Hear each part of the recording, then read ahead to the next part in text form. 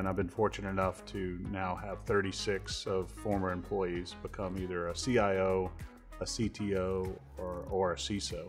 I think it's probably my best accomplishment in my lifetime is, is building other leaders.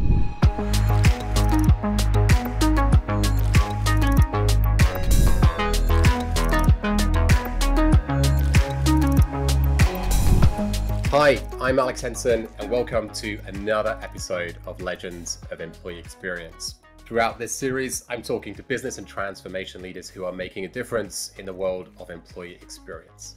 Today, I'm excited to be joined by Patrick Thompson. Patrick is the CIO and Chief Digital Transformation Officer at Albemarle Corporation, one of the leading suppliers of lithium to the electric vehicle industry. Patrick has been in the role since 2017 Patrick, thanks for joining me. It's a pleasure to join you, Alex. Good to see you. Likewise. Now, of course, I can't start this conversation without addressing the fact that I was supposed to be there in person with you. I was very much looking forward to having an in person conversation, having done so many of these virtually. Um, I'm having to quarantine right now, uh, but it's amazing to see you sat there in my chair um, doing the role that I normally do, I do feel a little bit like you're about to interview me right now. Hopefully, the team have been looking after you. Well, Alex, I'm enjoying your chair. It's very nice. You look right at home.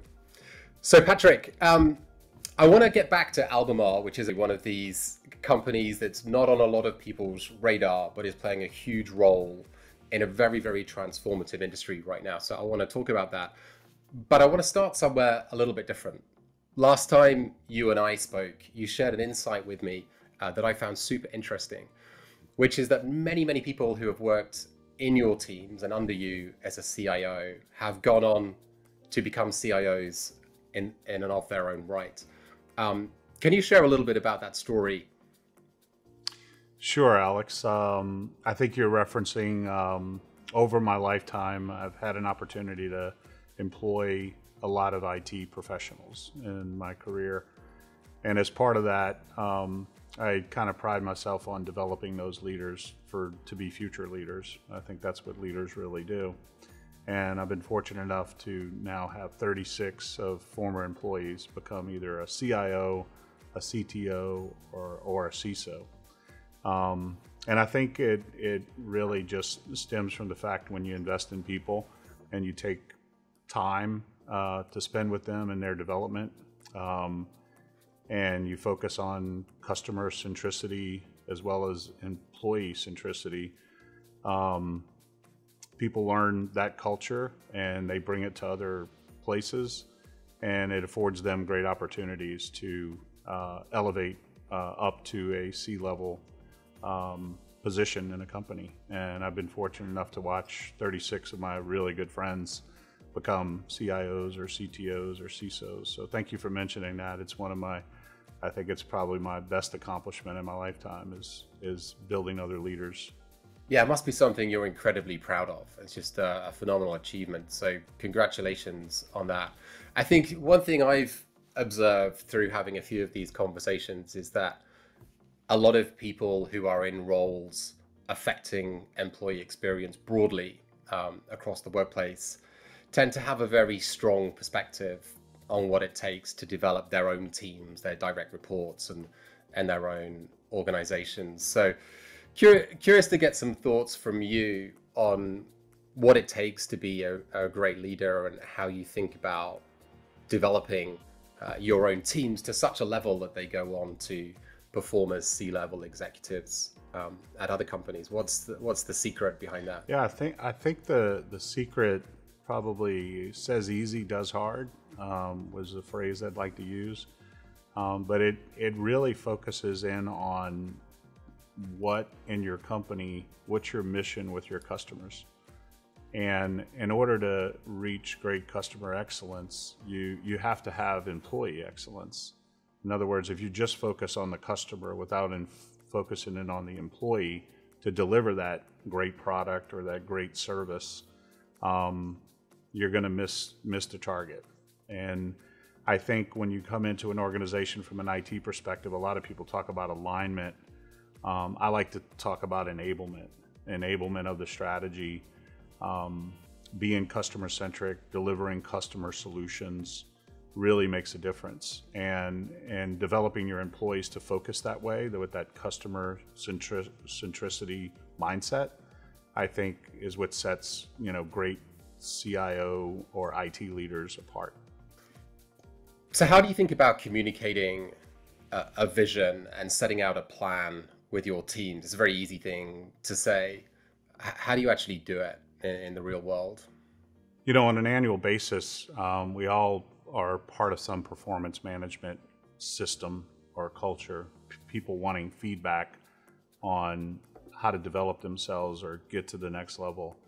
Um, I think taking personal uh, focus and, and, and being very intentional about setting goals on an annual basis um, so that your employees know exactly what they need to do year to year to get to their end goal or their career path is is crucial to the success of that. That you don't take that lightly. It's not just a score on how you perform but are you actually setting clear a clear set of goals on an annual basis that they can see that they're achieving towards that end game or that target that they're seeking.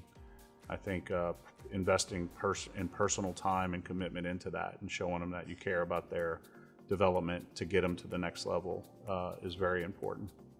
Another trait that I've seen very common amongst leaders that I've spoken to on this show is that over the course of their careers, they've built up philosophies or, or mantras or uh, rules and laws that have helped them to be successful.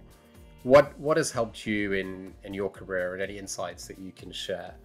Sure, I'll I'll share an experience I had uh, early on in my career. I was, you know, traveling a lot, uh, doing projects for Accenture in my first seven years. So I was spending a lot of time on the road. So I was a sponge when it came to reading books. One book I ran across was the 21 uh, Irrefutable Laws of Leadership by John Maxwell. And I just, I loved the concept of his 21 laws, but they were his, you know, thinking of what the laws should be and just gained some great insight from that book. But then I, I walked away from that book saying, you know, I should really create some laws and some guiding principles of how I'm going to live my life and how I'm going to do my career. And so I just started over over the years after I read books or watched movies or watched motivational speeches or listened to my kids or my mom or my dad, I would just take down notes and start creating these laws. Um, so I came up with the 20, law, 20 laws of leadership for me. Like, if I'm going to be a great leader, I have to wake up every day and live these laws. I have to, you know, literally walk the talk. And so I created these laws and then I started applying that with my teams, my leadership team, and asked them, well, why don't you create your laws? Here's my laws. Don't they, I don't want them to be yours. I'm just giving you an example, but once you think about the things that inspire you to what kind of leader you want to be and ask yourself, are you walking that talk every day? Are you doing these things as a leader? And so, um, I, I, uh, you know, the 36 CIOs that are out there, or CTOs, CISOs, um, they all have their laws of leadership, and they're different than mine, you know, and they're walking their talk now.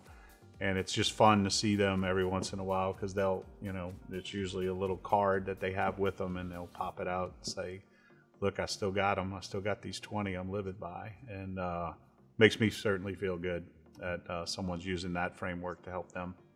So, you know, I can't let this conversation end without asking you to share two or three examples of your, your laws of leadership. You bet. I'd start with begin with the end in mind. That's that's the first one. Um, I love that one because almost everything you're starting a goal with is where do you want to be in the end, right? How do, how do you, you know, work your way back to what steps does it take to get to that end? So the number one law is begin with the end in mind.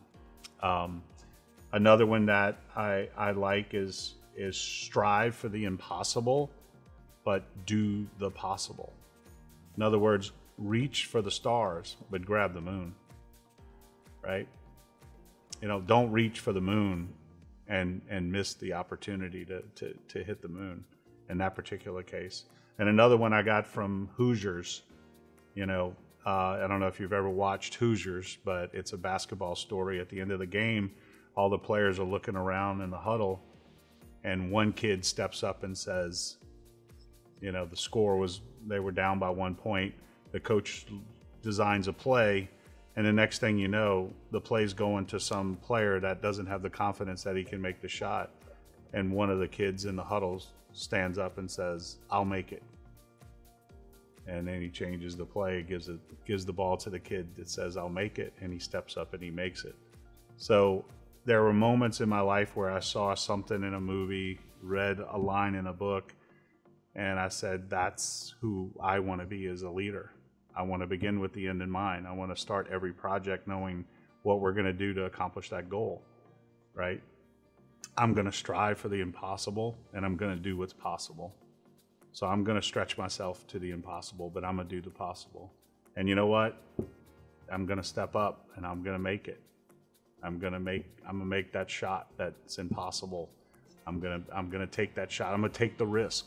You know, I'll put the team on my back. I'll do it. So those are just some examples.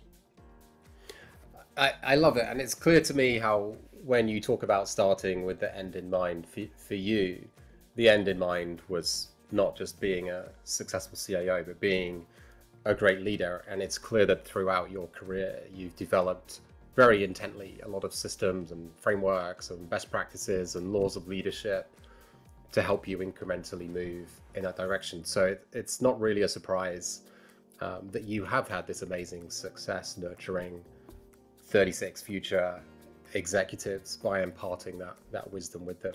So I, I live in Silicon Valley. Clearly, you're, you're here, um, almost visiting me. Um, OKRs and other goal-setting frameworks are, of course, you know, very popular uh, in many companies, um, particularly here in Silicon Valley. So there's always a little bit of a, a debate around um, whether a, a, tool can fix a bad process or whether you need to get the process in, in place first any perspective on on how to think about that, especially with something like OKRs, which are which can be notoriously complex to instrument and implement well in an organization. Yeah, I, I think when you think about any systems, you always talk about by definition, a system is not a technology; it's a people, a process, and a technology component. There's that triangle that we've all grown up in the IT industry to come to respect uh, back in the day when the consultants came out and did methodologies and process assessments, it was about how are you people trained? Do you have the right processes and do you have the right technology? Um, what what I'm seeing with these platforms is a lot of people focus on lag results, and that's a huge mistake. Um, what you need to focus on is lead metrics, things that are actionable and influenceable. In other words, if I hit this lever, is it actually going to move the rock up? right? So if your action items are lead metrics, that you take an action on something and it actually moves the lever, you're going to be more successful and you're not going to be looking in the rearview mirror at lag results because that all that is is a report card. That's just telling you how you did last month. That's not telling you what you are doing to move that needle. And lead metrics are very key in those particular platforms. A lot of people focus on lag results, they should focus on lead metrics.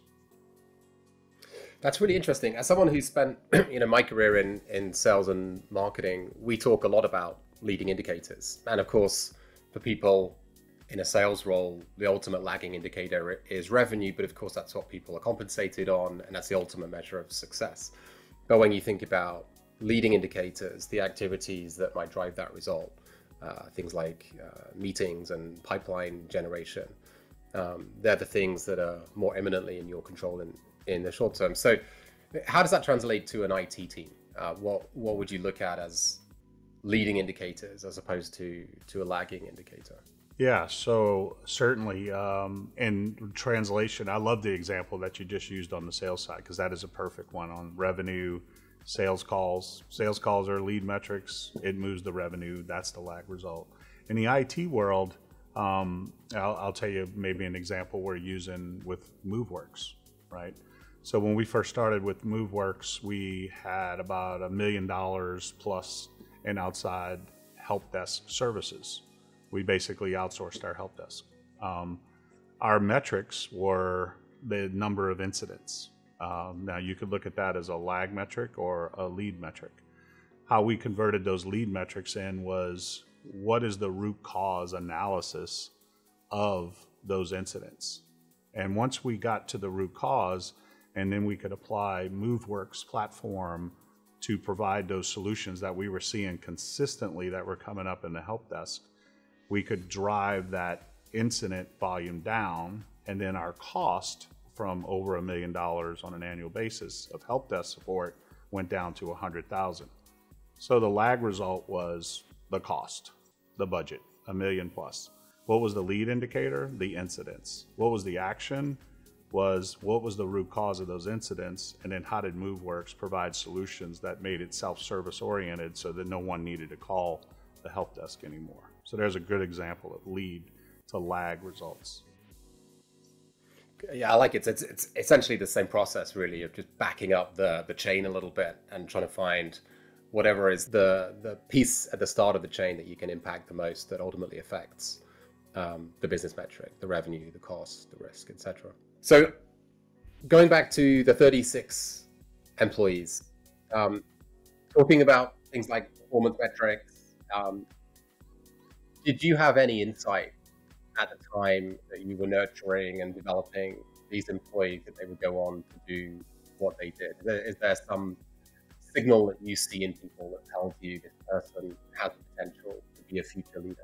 I at the time I didn't really set out to achieve that um, goal or or set of targets.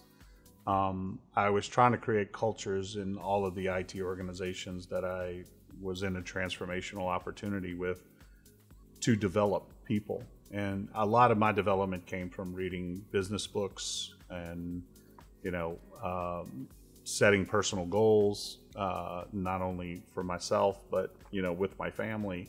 And just bringing those kind of practices into the business world of setting goals and then learning from others and applying what you learn in a case where you might you might combine two frameworks. You might combine the Balance Scorecard, which is a great strategy book by Kaplan and Norton, with a great execution book called 4DX, The Four Disciplines of Execution, written by Chris McChesney and Stephen Covey, and then combine Jim Collins' Good to Great book.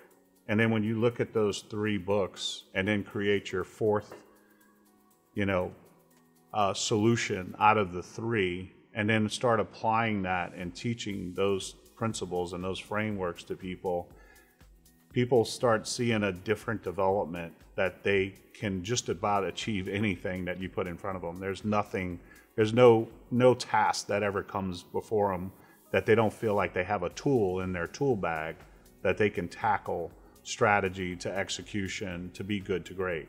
So those that's just one example is I used a lot of learnings from books and training and other platforms, execution platforms, and tried to teach those kind of skills with IT skills to make those IT professionals more valuable around business framework than IT framework.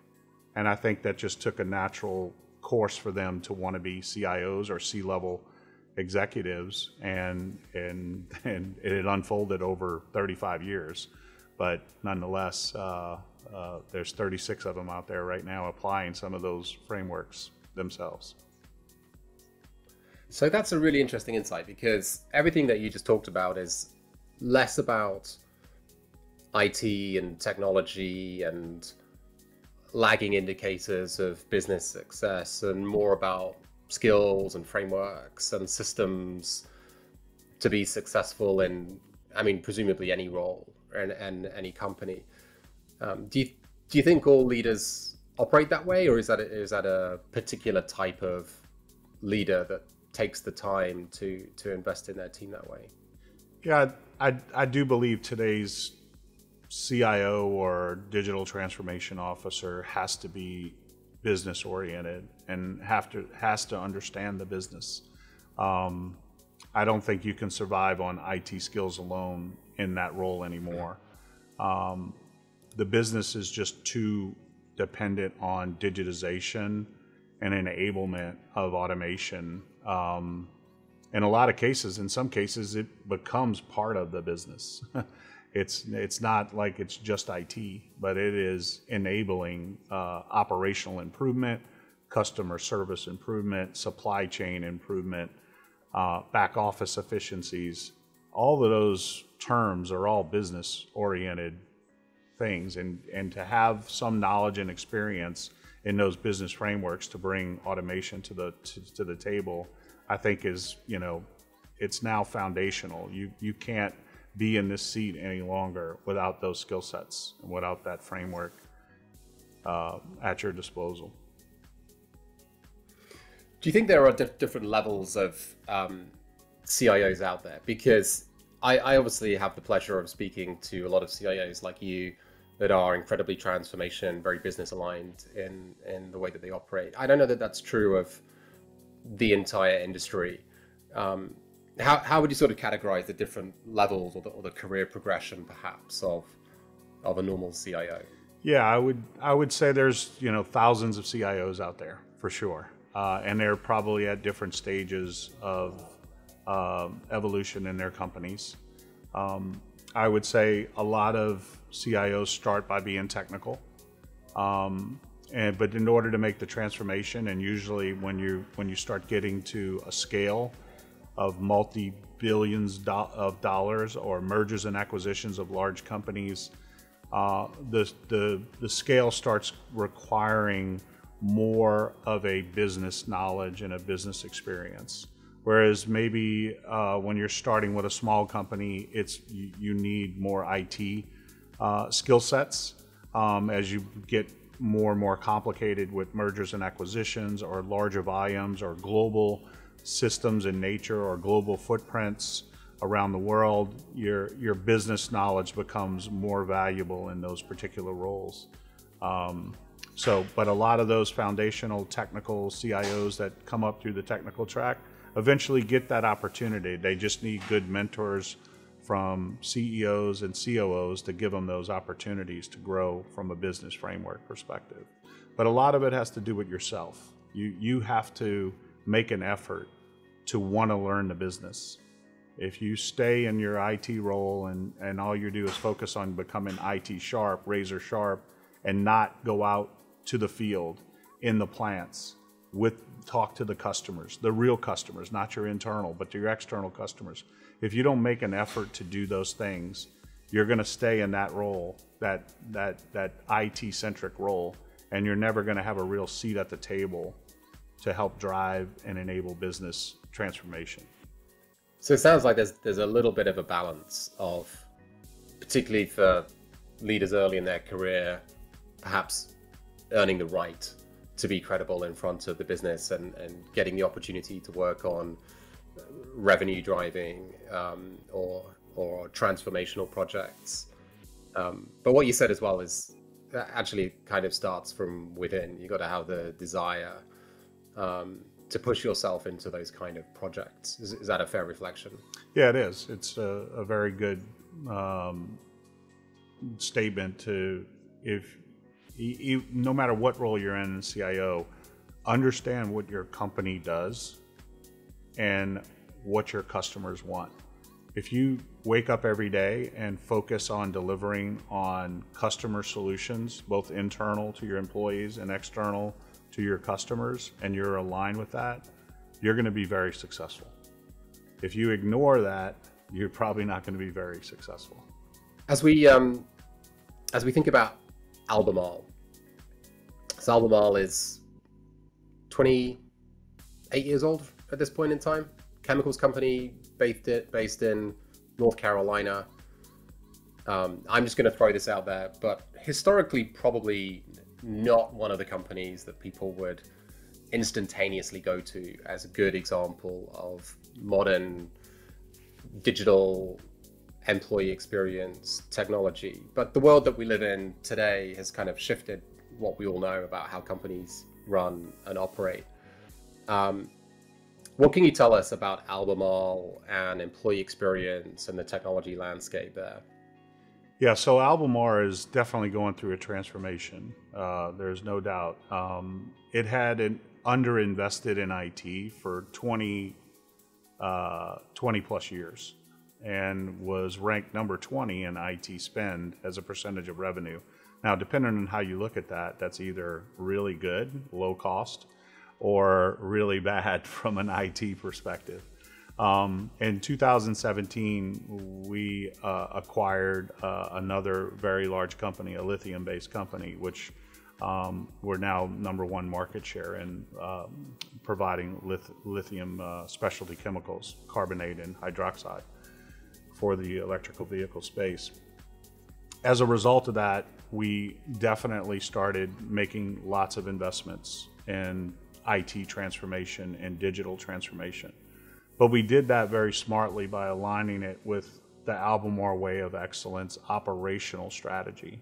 So our new CEO, Kent Masters, came in in 2020 and set a clear direction on the strategy, the business strategy, but knowing that we needed to invest in IT uh, to enable and digitize that business.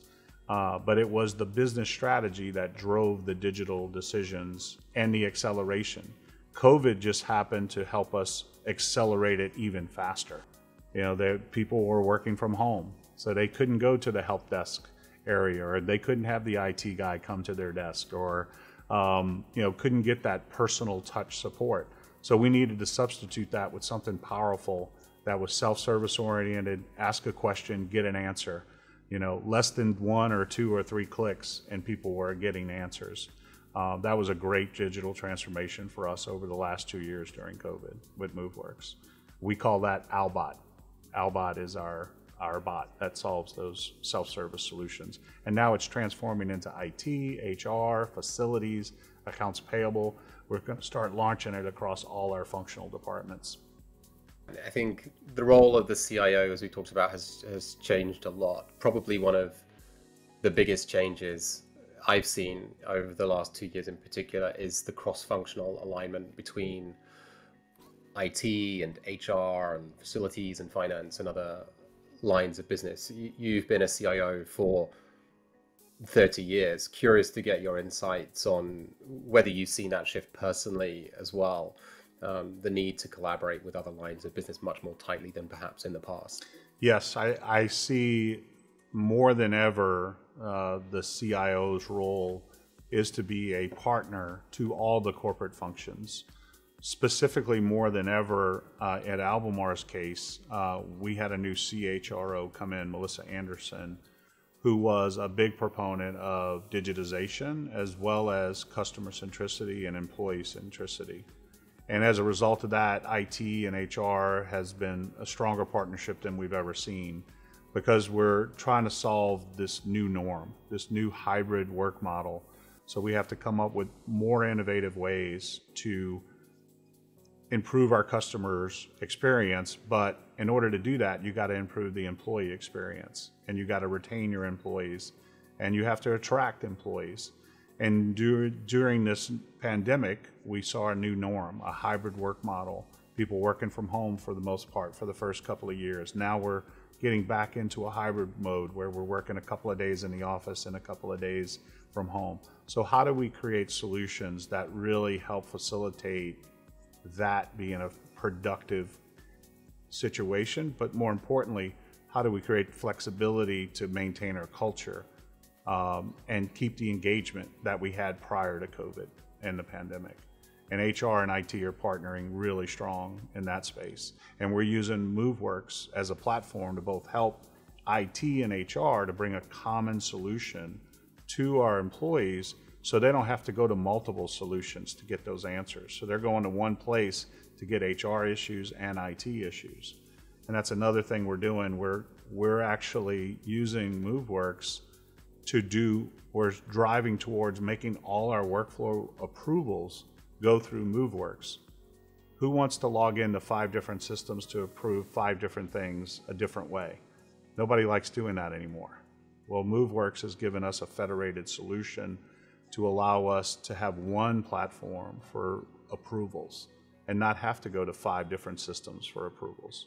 So those are the kind of things we're working on and changing the, the employee experience. So you, you obviously spend a lot of time on initiatives to fix um, and transform the employee experience, which I think is a trend that we've seen, you know, really take off over the last few years, necessitated, of course, by things like remote working and hybrid working. Um, where does employee experience fit on the priority list if you were to think about perhaps the top five initiatives for any CIO? Where does employee experience fit on that list and what's it competing with for attention? Yeah, without a doubt, right now it's number one on the list. Um, given the the transformation that's going on of COVID, the last two years, moving into this hybrid work model, the employer experience is becoming the most important uh, focus of the company.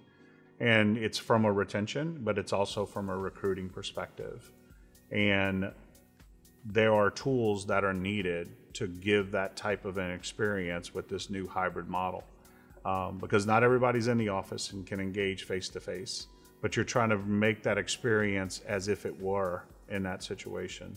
So not only you know better conferencing and collaboration platforms, but just better solutions that when we are engaged with video or conferencing from a hybrid perspective, we're trying to get people to use solutions like Moveworks to make life easier for them. So they're not spending much time on those types of platforms anymore because Moveworks is just making it easier for them.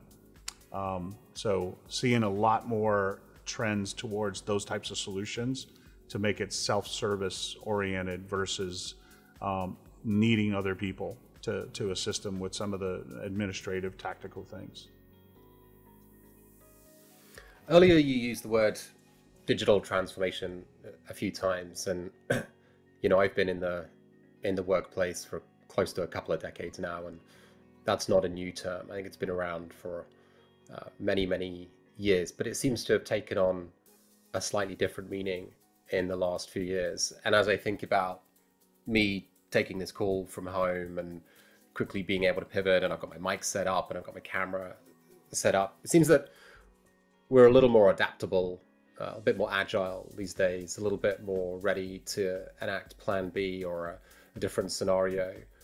Um, do you feel that that willingness to embrace change has made it easier to work on digital transformation initiatives? That you have more more freedom to make change faster? Yeah, I do. I I think operational leaders are becoming more aware that IT is not something to keep the lights on and just get email or just do your accounting systems anymore.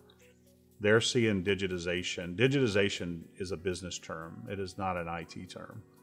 And digitization is enabling the business. It is enabling customer solutions. It's enabling manufacturing operations. It's enabling supply chain supply chain visibility. It's a, it's it's driving efficiency in the back office. Digitization has become a business term with a with an IT flair to it, but now operators, CEOs, and COOs are seeing digitization is without a doubt at the core of helping strategy and execution from an operational and a customer perspective.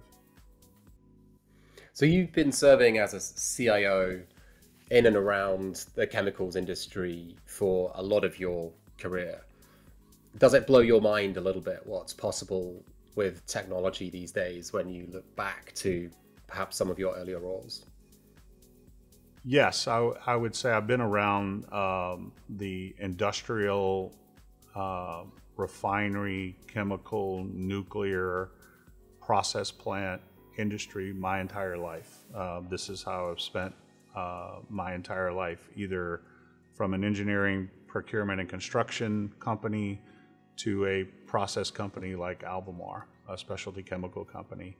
And I would say IT has been the greatest enabler of optimizing a plant um, than anything else.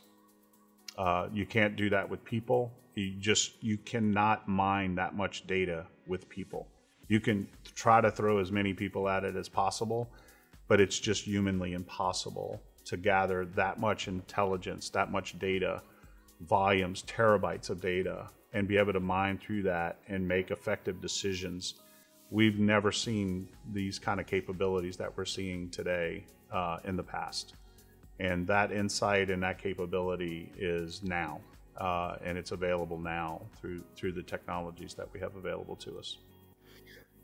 It's interesting because when we talk about employee experience, there's sort of there's two ends of the spectrum. There's obviously, you know, as you've been talking about, there's the the operational experience, how do you do things at scale? But on the other end, you have to be able to put yourself in the shoes of an individual end user and try and imagine what their experience is like and, and how we can make it better and how we can make it easy. Uh, what do you think making IT easy for an end user means? How do you how would you think about that? It's a good question. I um, I, I take a lot of pride in getting feedback from our employees on what does easy look like.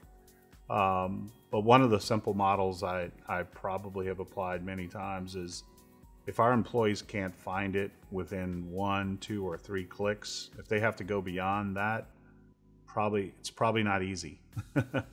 um, you can tell how easy you're rolling things out by adoption. Adoption matters. Um, that's your probably true measurement. Uh, if you're rolling things out that are simple, simple and, and effective, is how well they're adopting those solutions but there's nothing like constructive feedback. Constantly asking for server surveys and getting feedback from the employees. And I, I use the term leaning into the red. It's like it does me no good to go before management and say we're green in every category, that our dashboards are all green. That's just telling me I'm doing good. How do I lean into the red? I change the baseline I go from three days service level agreements to two day service level agreements. Now I'm in the red. I was in the green. We were good with three. Now we're going to two. How do I get to one? How do I get below one? And feedback, surveys, and leaning into the red get you where you need to be with your employees to make it simple and easy for them to use. Don't settle for good. Don't be satisfied with producing green dashboards. Wake up every day with red dashboards. You'll be better tomorrow. That's interesting. So, so I had three things there. One, adoption, going back to the concept of leading indicators, adoption is probably a great leading indicator of whether something's getting early success. At least it's getting traction. People are are using it. Um, but that you need to marry that with surveys, feedback, qualitative feedback on what the experience is like. Um, the third piece is really interesting to me as, as someone who's in, in marketing, which I, which I heard as um, the trend is more important than the SLA. Um, you can beat an SLA, but you can still you can still continue to to move the needle on performance, and certainly something that we think a lot about in the marketing sphere. Is um, you could always make things better, and, and what what can you tweak and, and what can you optimize? Very true A few questions to wrap this up, Patrick. What is one tactical thing that you think leaders can implement tomorrow or, or this week to help motivate their employees? You know, I would um, I would say your voice of your customer and the voice of your employee is more important than it ever has been. So have tools that give you that constructive feedback so that you can deliver.